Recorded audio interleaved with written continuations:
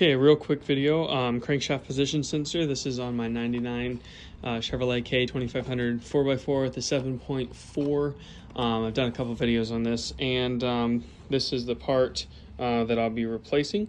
Um, this is a crank sensor straight from um, uh, Advance, which I'm not in the habit of really using Advance uh, parts, but um, it was the place closest to where I broke down. So um, I was with the family and we were driving on a Friday night, of course. It's near Atlanta.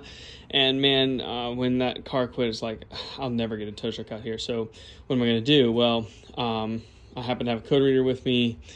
Um, the truck just stopped all of a sudden. And uh, when that happened, I um, tried to restart it and it was cranking real strong. I could smell fuel, but it wouldn't restart. So I ran the code reader and it came back with a, um, I think it was P0336, um, maybe, but it was a crankshaft position sensor code.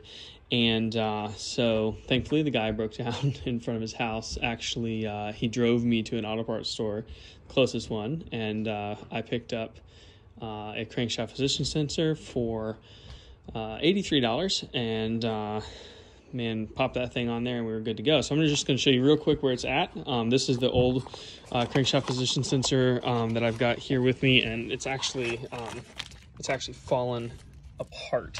It actually came apart as I was taking it off, or perhaps um, it actually came apart, uh, and that's why it broke. But anyway, it's supposed to look like this. It's got a bracket.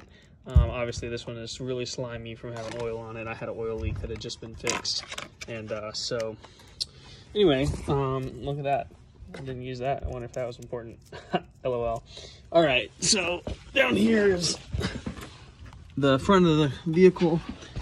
You're directly underneath, and you can actually see the shiny bracket right there. So you've got, you know, your your oil pan, and then you've got your um, shift actuator here and um, then right up there.